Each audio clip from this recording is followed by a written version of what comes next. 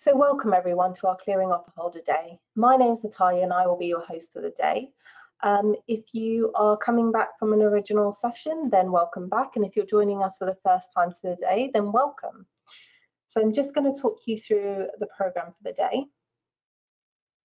So here's the program for the day. We've got lots of sessions and we've already had lots of sessions, which will be going up on our website uh, by the end of the day.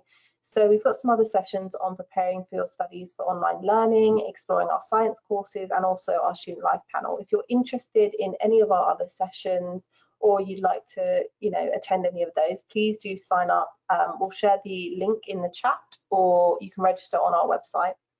So in this particular session, we'll hear from Professor Hannah Cock, who is um, our course director for medicine, and we will, she'll share some highlights for the course before taking questions at the end.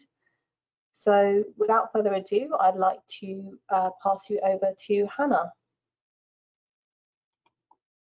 Hi, so uh, thank you, Natalia. So as Natalia said, I'm Hannah Cock. I'm a the course director for medicine here, and I'm also a professor of epilepsy and medical education and a consultant neurologist in St George's Trust next door.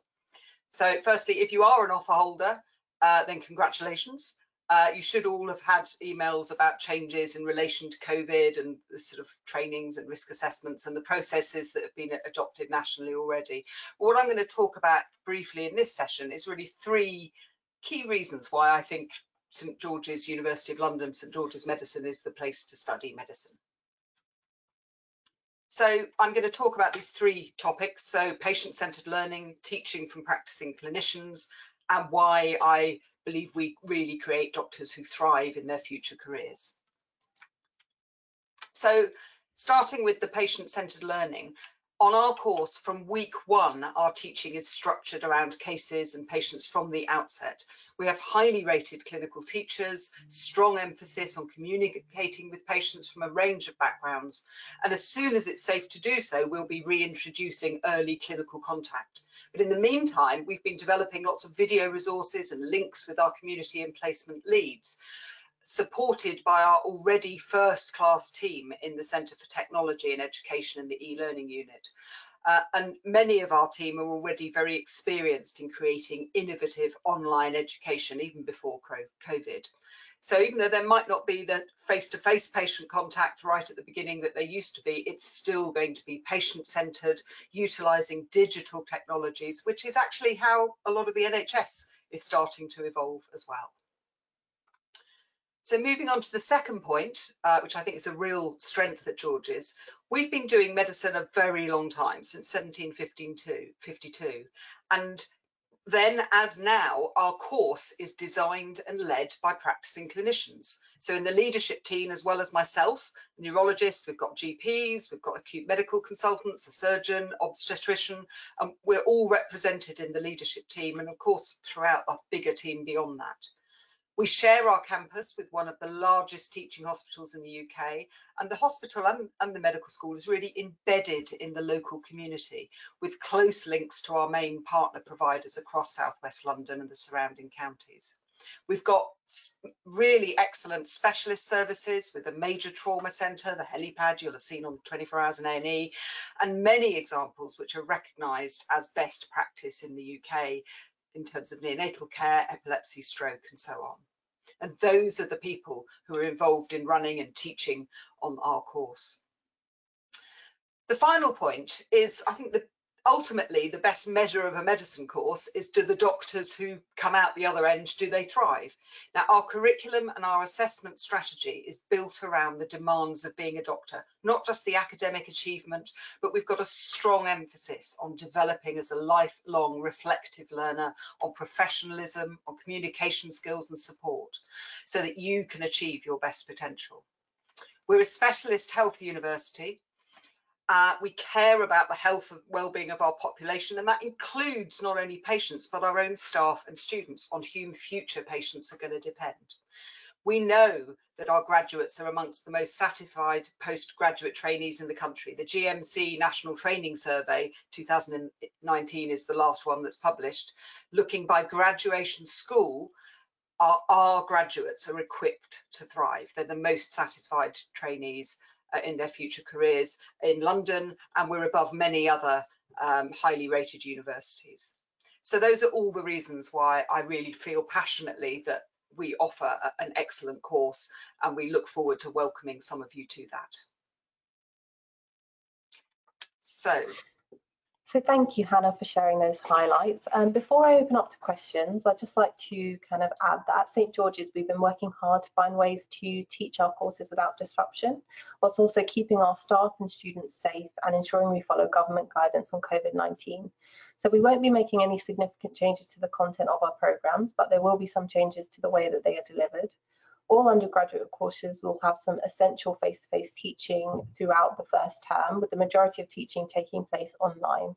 And you can read more information about those changes to our medicine course um, on the medicine page of our website under the COVID-19 updates. Um, so I'm just going to, to ask some questions to Hannah, but if you do have a, a burning question, please do send it in because um, we'd really love to hear from you. So the first question we have is how many students are there within a, a year group or a cohort? Okay, so uh, it varies a little bit year to year, but on our five-year program, which is mainly school leavers, there's usually around 800, uh, sorry, 180, 160 to 180 who start each year. Uh, and then we also have a parallel graduate program, which has 70 to 80 students on it. So there's about 250 who start at the same time in two different streams. Uh, those streams come together for the last three years of each program and they're also joined by another 25 students from uh, clinical transfer who've graduated from our biomedical science degree. So that in the last three years, there's about 280 students in each year group. Okay, great. Um, we've also got another question. So what options are there for student selected components? Uh, that's a, really good question. Uh, it's a really important part of our programme because this is student selected components give students an opportunity to study an area of particular interest in depth and de develop different skills, research, presentation skills, or sometimes test out possible career paths. There are protected opportunities in the first year, in the middle year, the transitional year, year three of the five-year course or year two on the graduate scheme, and again in final year. And the sort of opportunities we have include projects in basic sciences, in clinical practice, in service improvement, uh, in medical education, and also quite a, an expanding range of humanities projects. And then, of course, all students also get the opportunities to do an elective after the final exams, depending on the pandemic, anywhere in the world, depending on what the situation is then. Amazing. So we've still got a minute left if anybody wants to send in a question, but I am going to ask Hannah to um, just share her, I guess, her thoughts on the course and any any last kind of findings that she wants to share with us about the course. So uh, as you've already, as I think I've already said, I think we have um, fantastic relationships with our partners providers and that's for clinical services as well. So i think southwest london amongst the london regions is really well networked both for clinical services and then that means that the student experience is also uh, we're much more joined up i think uh, our relationships with our partner partner sites. Um, we have some good opportunities and links out of London as well. And in fact, all students, the GMC mandate that students have experience in rural and city environments in a range of providers. So we provide that through the course. And we have a few really uh, unique relationships. So with the um, Neurodisability Hospital in Putney, we, we, all our students get a bit of experience there. Um, we're really looking at embedding issues to do with managing long-term conditions, which is what the NHS needs um, and managing comorbidities in our curriculum. Great. Um, so we don't have any further questions. So I'm just going to wrap up this session by saying, you know, thank you to Hannah and for coming along and sharing those highlights about the course. Thank you for all, to all of you for joining us uh, for this session. Um, it's been brief, but I hope it's been very informative to you. And, you know, by no means are we ending the conversation. So you can contact us um, by talking to a current student um, on UniBuddy or a, a, member of staff. Um, you can also find out further information on the course about our course pages. Um, you'll be sent kind of emails in the run up to um, your induction with further information and your next steps. We will have all the recordings for today's events on our website as well.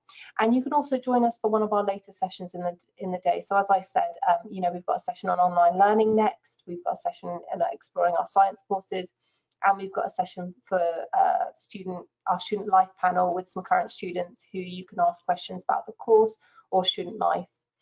Um, so thank you and we hope to, to see you at a later session today.